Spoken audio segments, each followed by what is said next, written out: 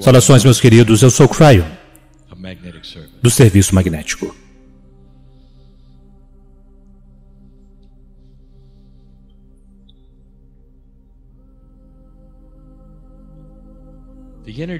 A energia do dia está tão diferente do que quando tive minha primeira experiência com meu parceiro. Tantas coisas aconteceram de uma forma que nós esperávamos. Meu parceiro ensina sobre potenciais e realidade. E quando eu o encontrei, em 1989, a informação que eu apresentei era tão real naquela época como é agora. De que não haveria nenhuma guerra nuclear na virada do milênio. Que haveria uma mudança de consciência e a rede magnética do planeta moveria-se. E agora a ciência estabeleceu uma conexão entre a consciência humana e aquela própria rede magnética. A informação científica foi apresentada até mesmo hoje, mostrando esta conexão. E, no entanto, o que eu apresento a seguir é a coisa mais esotérica que vocês poderiam imaginar. Eu contarei uma história sobre o livre-arbítrio, sobre onde ele levou vocês, sobre o desenvolvimento da consciência humana. Não é complexa, mas se você sintonizar, poderá ser um pouco estranha. A humanidade tem livre-arbítrio não apenas para fazer o que ela deseja fazer sem intervenção do espírito, mas onde ela leva a si mesma. e sua energia e sua consciência e como as coisas funcionariam e como ele pensa, ou se isso coopera ou não, isso é livre-arbítrio da humanidade. Todo quebra-cabeças que está neste planeta não é um teste de humanos, é um teste de energia. Vocês vivem uma vez após outra, Será possível, através de tantas gerações, que vocês fossem capazes de levarem-se por conta própria, aumentando a consciência da humanidade graduando-se para aquilo que é a paz na Terra e um paradigma de existência totalmente diferente? Eu vim em 1989 porque isto, este é o potencial. E ele é medido por algo que eu agora sobre o qual falarei. Todo motivo para as coisas acontecerem nos anos 80, como aconteceu, os trunfos que vocês viram, mesmo aquilo que é a queda da União Soviética, todas as coisas inesperadas, há mais delas vindo. Eles são contadores de uma mensagem, de tempos de mudança, de um aumento na consciência, onde a humanidade começa a amadurecer sair daquilo que eu chamo o parque de diversões, o jardim de infâncias da consciência para a elegância da consciência, uma que cria união, paz. É apenas o início de um novo tipo de humano, um novo tipo de sociedade. Mas nem sempre foi assim. Eu disse a vocês mais cedo que nós poderíamos dar um título a essa comunicação como ouvindo a voz do Espírito, ouvindo a voz de Deus. É uma metáfora, não é? Pessoas que se sintonizam espiritualmente normalmente não ouvem uma voz vindo do céu. Esta é uma metáfora. Ouvir a voz do Espírito é uma metáfora para estar sintonizado com a intuição dentro do seu próprio eu superior. De forma que você pode se conectar com aquilo que é mais elevado do que você é e ouvir, isto é, entre aspas, a informação para vocês, a informação para o planeta. O motivo pelo qual é tão difícil ouvir isto é uma metáfora. Ouvir é ser intuitivo. Todo o motivo do porquê é tão difícil é porque há um ruído baixo, uma metáfora para um ruído que parece ofuscar, ou seja, encobrir as mensagens. É como tentar ouvir algo enquanto há um ruído. É a melhor metáfora que podemos dar. Mas o nível de ruído está começando a diminuir. E o que acontece quando vocês têm uma mensagem mais clara e melhor é que vocês mudam, o mundo muda. Aqueles ao seu redor também ouvem o que está acontecendo, mesmo aqueles que não querem ouvi-lo ouvem. A metáfora é ouvir. Não deixe este lugar pensando que vocês vão ouvir alguma coisa com seus ouvidos. Isto é uma metáfora. Trata-se de estar sintonizado com a intuição de como saber o que está correto, o que há de errado, o que está acontecendo com você, com o melhoramento dos, dos potenciais de sentimento. Tudo isto é ouvir a voz do Espírito. A coisa mais difícil para nós ensinarmos é o que meu parceiro tem ensinado por alguns anos. A forma mais fácil de vocês abordarem isso, quando ele diz que o seu DNA não está trabalhando em uma porcentagem 100%, está trabalhando na área dos 30%. Nos 30% é onde está, não está nem mesmo na metade. É uma metáfora. Não há instrumento que irá ser colocado em seu DNA para te dar uma porcentagem. Mas é o melhor que podemos fazer para dizer onde vocês estão quando se trata da consciência da humanidade. Agora eu quero dar uma informação a vocês. Apenas que há um interesse. Como tudo isso começou? Para onde foi? Se vocês precisassem iniciar um teste de consciência no planeta, teria que ser num campo de igualdade. Vocês teriam que começar com a mesma quantidade de luz e escuridão. E é isso que fizemos. Nós dissemos e contamos que a história da humanidade é curta,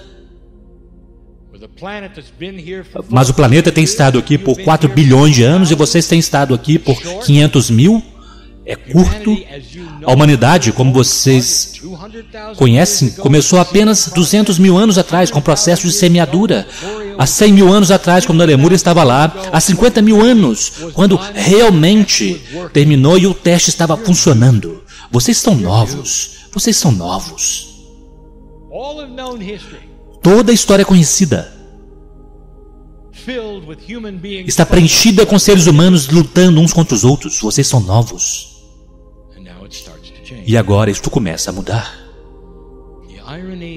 A ironia é que aqueles que estão ouvindo a isto e alguns daqueles que estão na audiência já estiveram aí durante todo este processo. Uma velha alma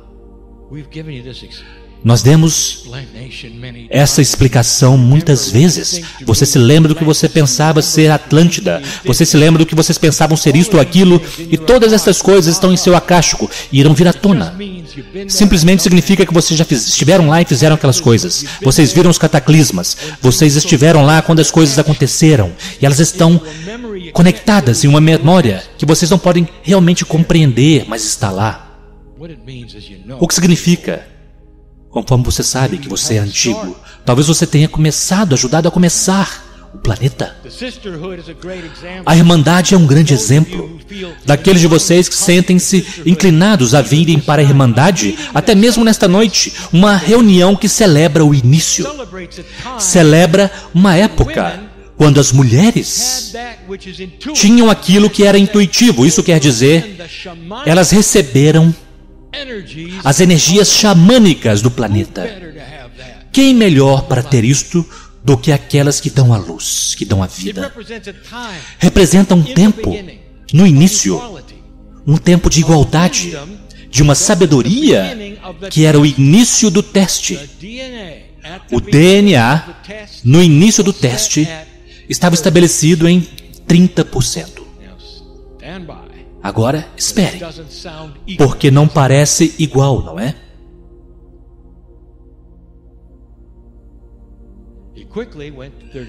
Rapidamente foi até 35. Rapidamente.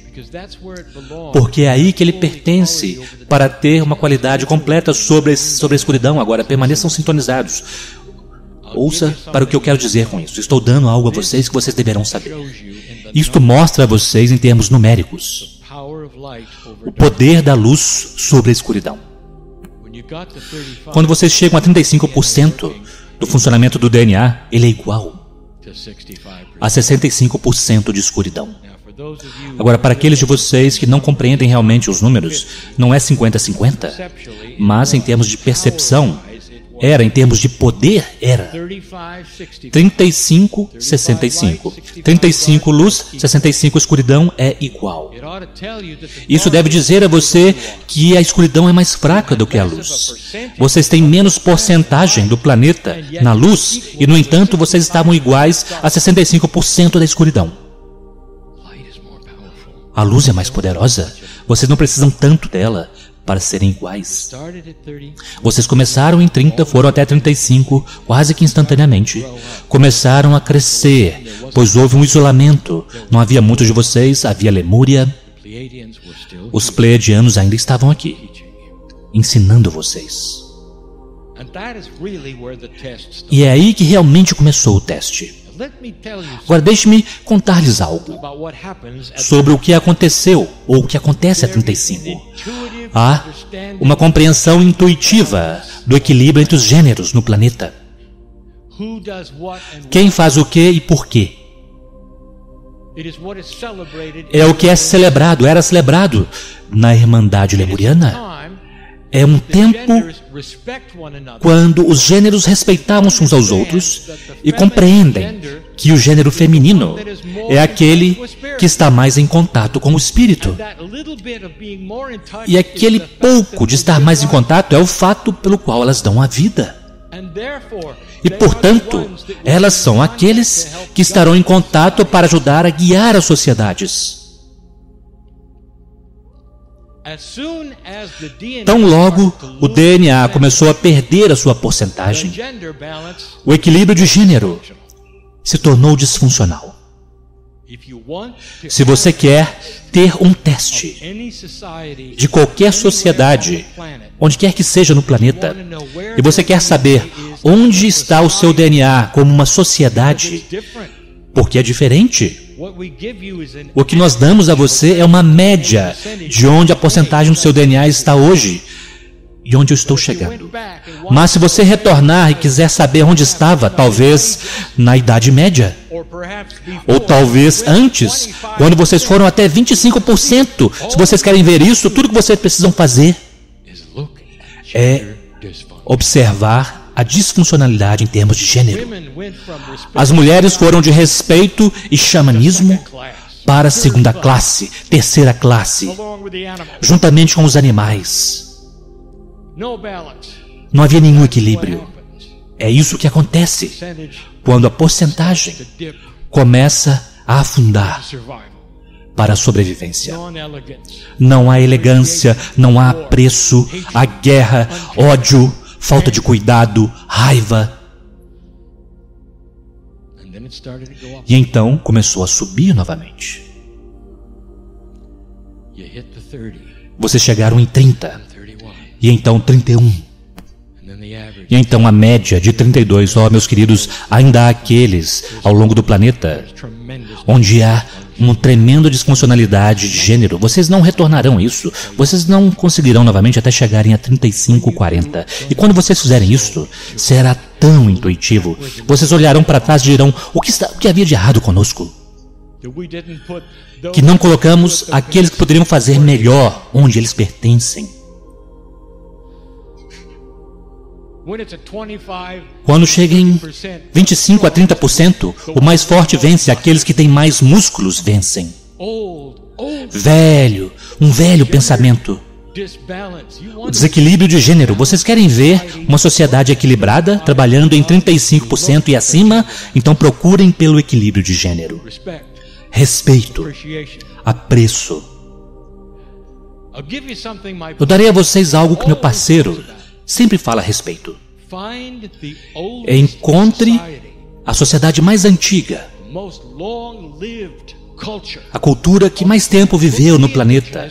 Olhem para os indígenas e descubram o que eles fizeram. O que os registros dizem? E eu direi o que os registros dizem. Mulheres eram as chamas. Mulheres, aquelas que dão à luz, já dizemos isso várias vezes, elas estão mais próximas do espírito. Elas têm uma melhor habilidade intuitiva. Imagine ter alguém ser capaz de guiar, que podem ver e sentir. E a voz de Deus é clara para elas. Isso é equilíbrio de gênero. Os homens sabiam. Os homens dependiam disso. E as mulheres dependiam dos homens para fazer as coisas que os homens fazem melhor. Equilíbrio de gênero. Ainda está por aí, nos indígenas que têm estado por aqui por muito tempo. Isso nunca mudou.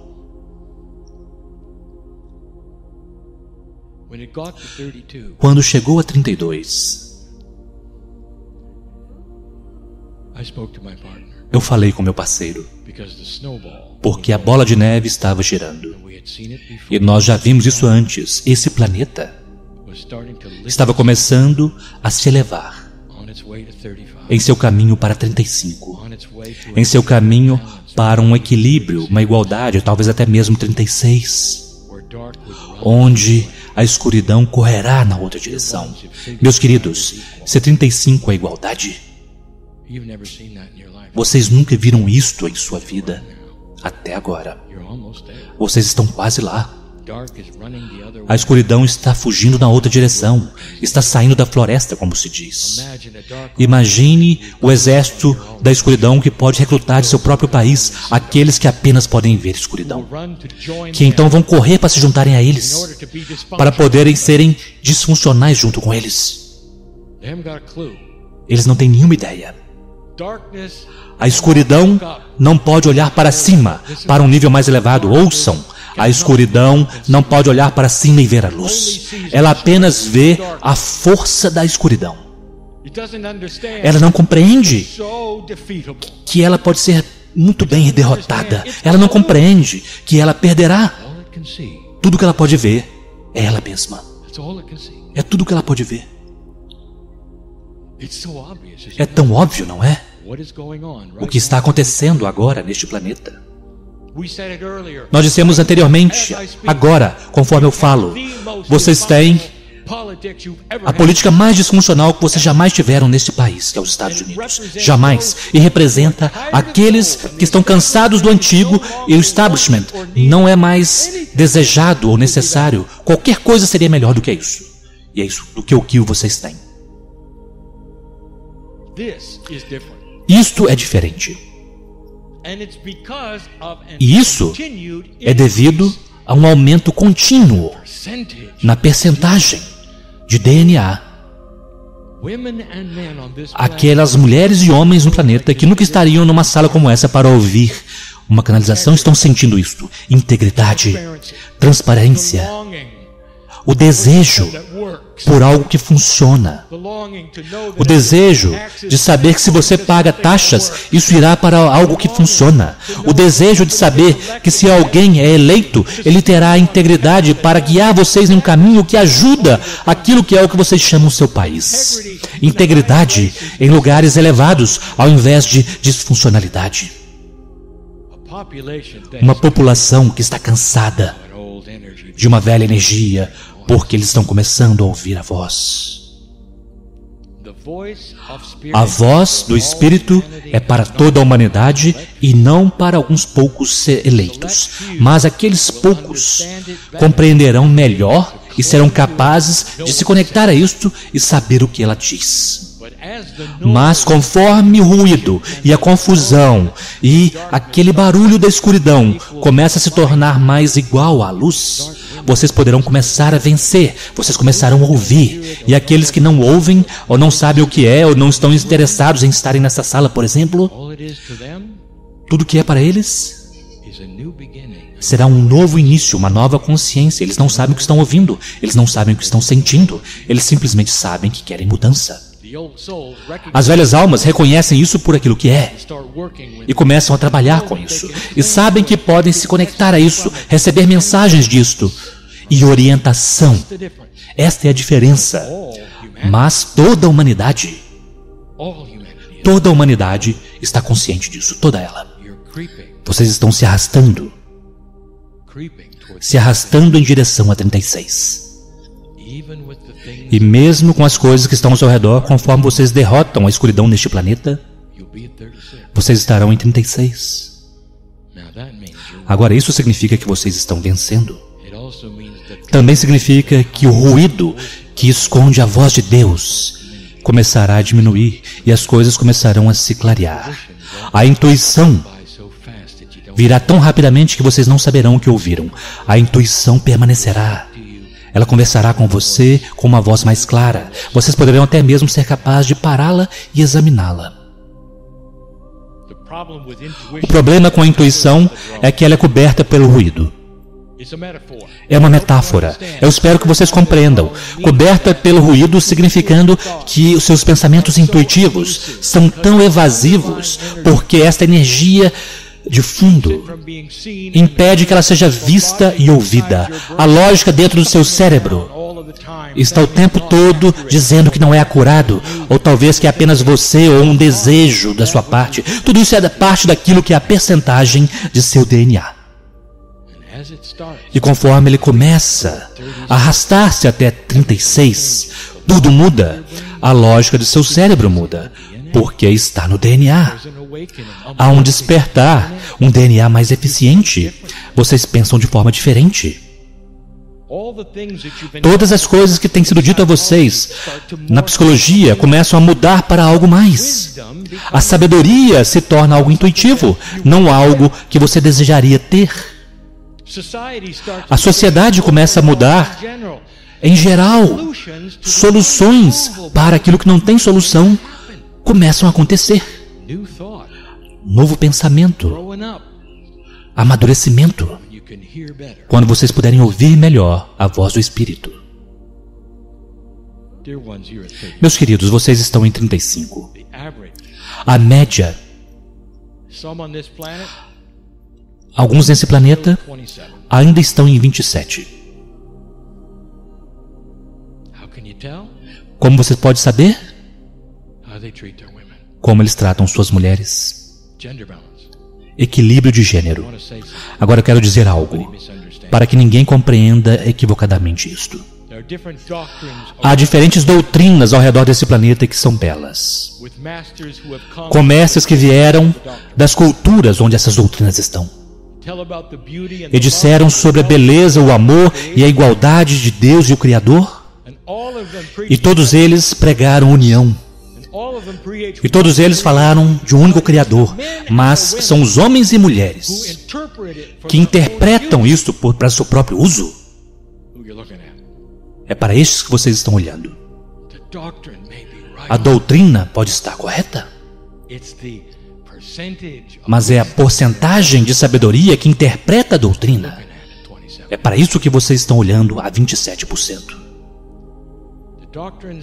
As doutrinas neste planeta, quase sem nenhum questionamento, ensinam a beleza de Deus, a união, uma forma de vocês trabalharem juntos e adorarem o mesmo Deus e não matarem-se uns aos outros. Todas elas. Mesmo aquelas que parecem estar com problemas umas com as outras. Se vocês estudarem e ver o que os mestres realmente disseram, eles disseram: amem-se uns aos outros, amem-se primeiro e imitem Deus.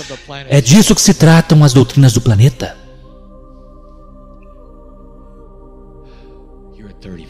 Vocês estão em 35%.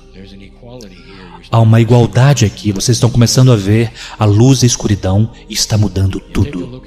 Se vocês derem uma olhada na história, vocês caminharam muito. Demorou muito tempo para chegar aqui. Meus queridos, nós já vimos isto antes. A bola de neve está rolando. E não há nada que irá impedi-la. E em seu caminho estão todos os tipos de coisas sobre os quais ela passará por cima E parte das coisas pelas quais elas passaram por cima é o establishment. E se isto não mudar, eu quero que vocês observem algumas coisas de estabelecimento muito grandes ruírem, e a bola de neve simplesmente irá derrubá-los. Não fiquem alarmados. Não pensem que é o fim do planeta. Quando certos tipos de coisas acontecerem que criarão medo, será apenas por estar em 35%. Vocês estão no lugar certo na hora certa, eu já disse o bastante. Quando vocês saírem daqui, eu espero que compreendam esta mensagem. Ouçam a ela novamente se precisarem. É sobre aquilo que é o quociente de luz e escuridão do planeta e você. É sobre o fato de que vocês estão vencendo. E é por isso que eu vim. Porque é difícil falar para aqueles que estão vencendo, quando eles nunca venceram antes e eles têm uma consciência de perdas. É nisso que vocês estão trabalhando. Permaneçam com cabeça erguida quando saírem deste lugar e saibam quem vocês são. A mensagem de Cryon nunca muda. Ela está em seu interior. É aí que está a fonte criativa e sempre foi. E vocês entenderam. E assim é.